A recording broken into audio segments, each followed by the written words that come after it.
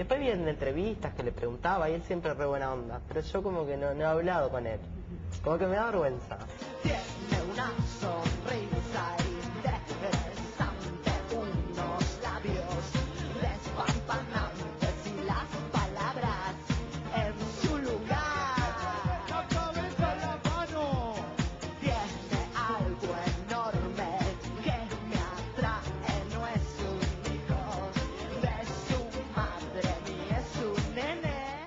Nos gusta mucho cuando no nos conoce nadie.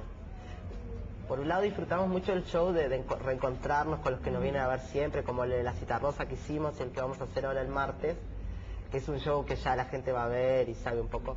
Pero también disfrutamos mucho cuando no nos conoce. Cuando, por ejemplo, estamos en un festival re grande, o por ejemplo la otra vez que cantamos en las termas, ahí en el medio como de una especie de evento familiar y disfrutamos muchísimo eso, como de, de la sorpresa, de ver cómo reacciona la gente y eso te da otra adrenalina.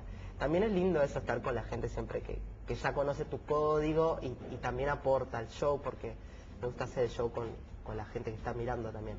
Pero esas situaciones son lindas.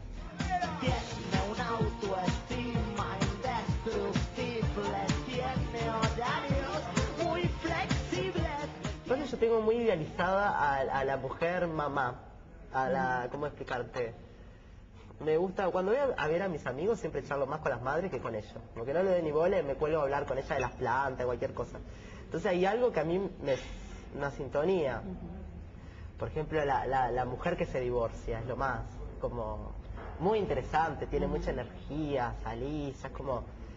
Yo sintonizo mucho con una edad así, y después con los más chicos, es raro, como también a veces como que con los de mi edad como que me cuesta un montón, pero con los más chicos y, y con la- las mamás no.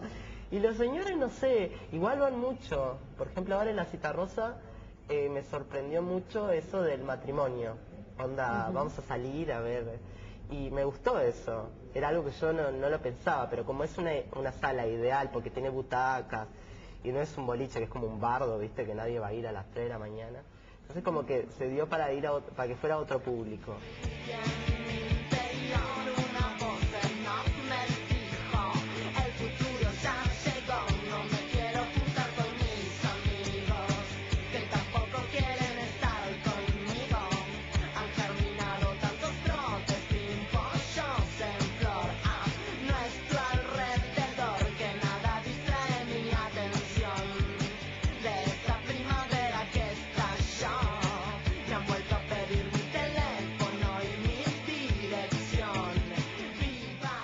Igual ahora mezclo más, pero antes es como hacía eso, más el, el show con Adrián, que es solo guitarra y voz, y el otro que es como una fiesta medio discotequera. Pero ahora estoy mezclando todo, ¿no? Porque me parece que hay, hay momentos para todos y a veces está bueno que estén mezclados, ¿no? Es como que... Y, y ahora voy a hacer un disco con Adrián, con esas versiones con guitarra, que claro, no tiene nada que ver al disco que yo hice, pero es algo que a mí me gusta hacer mucho, porque con Adrián nos llevamos muy bien en ese sentido y, y- lo que hacemos a mí me encanta. A mí es como medio bueno, pero me gusta mucho.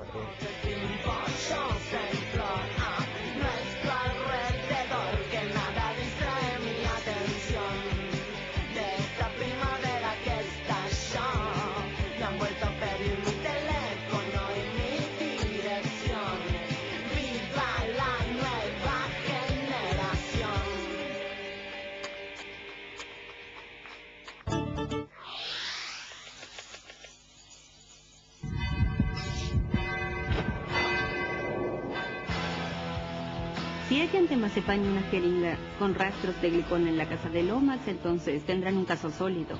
Para esta mujer, el cuerpo humano es un mapa, una vasta fuente de información capaz de conducirla hasta la verdad. No fue una muerte natural.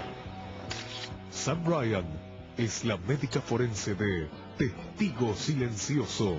Viernes y domingo a las 22 por tu canal, Televisión Nacional de Uruguay.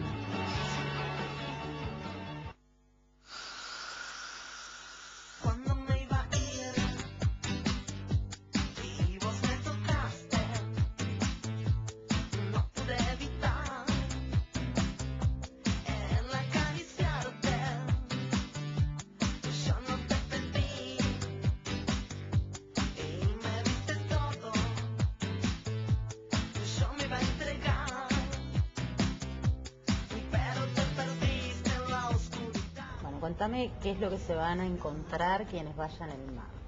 Y es un show que se llama Daniel y sus amigas. Lo hicimos el, el- no me acuerdo ni qué día, el 29, y se agotaron las entradas, entonces vamos a hacer otro. Pero claro, yo no puedo repetir el mismo show porque es imposible. Entonces vamos a hacer otro show que va a ser diferente, con el mismo nombre, donde estoy con mis amigas, invito a gente a cantar, gente conocida, gente que no es conocida. Y es medio descontrolado. Ya los de la sala a veces como que quedan medios porque le dejo mucha mugre. y nada, tiene mucha cosa así como de un punto medio dadaísta también, como en el, en el, en el escenario, eh, jugar mucho. Hay gente que en realidad no se sabe ni por qué está, pero está. Y, y- y es como una, una puesta en escena. Yo nunca digo de teatro porque no tengo formación teatral, pero tiene algo de ficción, como de fantasía, porque hay músicos, pero hay otros que no son músicos, pero hacen que tocan, como unas señoras, ¿viste? Que, que son las Rosano, que ahora se hicieron más famosas que yo, que están siempre hacen que tocan los instrumentos, eso me gusta mucho. Como usar el escenario para otro tipo de puesta en escena y siempre va variando, es como único también, no es que repita el, el anterior, sino que va a ser uno nuevo con las canciones del disco y otras nuevas.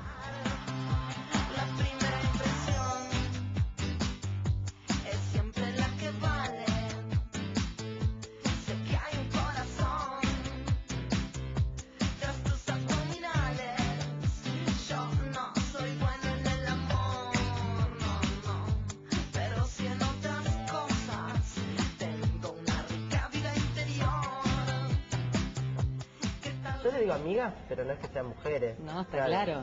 y tampoco es una jerga gay, es como un concepto de amigas que a mí me gusta mucho porque veo la, la relación de amistad entre algunas mujeres que se da, que es eso de que somos amigas, y, y yo lo traslado, por ejemplo, a dos hombres que son he- heterosexuales incluso, que no es como...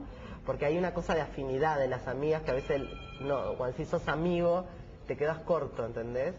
Entonces con- hay algunos amigos hombres que son amigas, porque son como chimentas y... y- y Ahí ese chusmerío, ese cliqueo, digamos, Compartís ¿no? otra cosa. Por ejemplo, yo cuando veo el fútbol 5 es una salida red de amigas.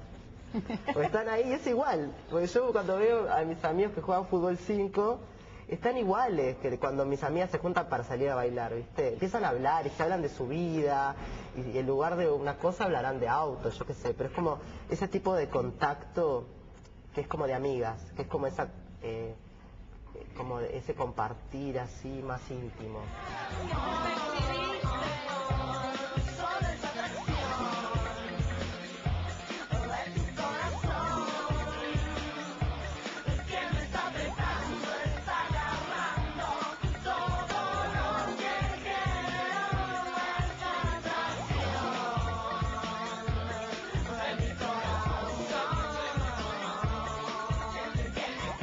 Me gusta mucho la estética como de fiesta de fin de curso, así como esa cosa medio barata, que es como de, de, de aprovechar los medios que vos tenés para hacer una gran fiesta. Entonces, claro, a veces como, a veces los escenarios son más grandes, pero el espíritu trato de que sea siempre el mismo. Y bueno, me gustaría como lo que hago, pero con más medios, yo qué sé, poder lograr incorporar cosas como de magia. Eso me gustaría mucho.